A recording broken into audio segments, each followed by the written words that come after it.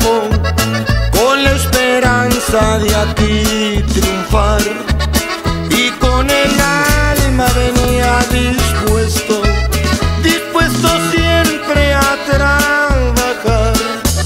Encontró tierra y mucha gente siempre dispuesto para